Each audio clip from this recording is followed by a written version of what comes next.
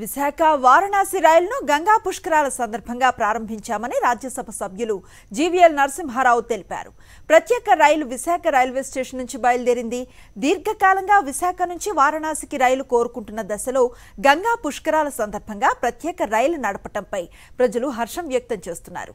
ఇక్కడి నుంచి నేరుగా వారణాసి రైలు కోసం ప్రజలు ఎన్నో ఏళ్ళుగా ఎదురు చూశారని నరసింహారావు చెప్పారు. ఈ నెల నుంచి ఇరవై రెండు మే మూడవ తేదీ వరకు గంగా పుష్కరాలు జరుగుతాయి.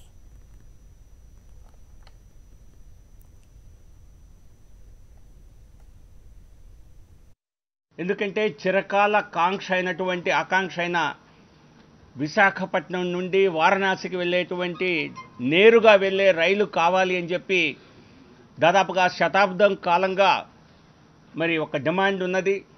పెద్ద సంఖ్యలో యాత్రికులు కాశీ ప్రయాణానికి ఇక్కడి నుంచి వెళ్తారు. ఉత్తరాంధ్ర ఉత్తరాంధ్ర జిల్లాల నుంచి అందున విశాఖపట్నం నుంచి. డైరెక్ట్ రైలు కనెక్టివిటీ లేని కారణంగా యాత్రికులు అనేక ఇబ్బందులు పడేవారు. సో ఈ విషయాన్ని నేను గత పార్లమెంటు సమావేశాల్లో కూడా డైరెక్ట్ ట్రైన్ మనకు విశాఖపట్నం నుంచి వారణాసిని మంజూరు చేయాలని కోరటం జరిగింది. అలాగే కేంద్ర రైల్వే మంత్రి శ్రీ అశ్విని వైష్ణవ్ గారిని వ్యక్తిగతంగా కూడా కలిసి ఈ రైల్ని వెంటనే స్థాపించాలని వెంటనే ప్రారంభించాలని కోరటం జరిగింది.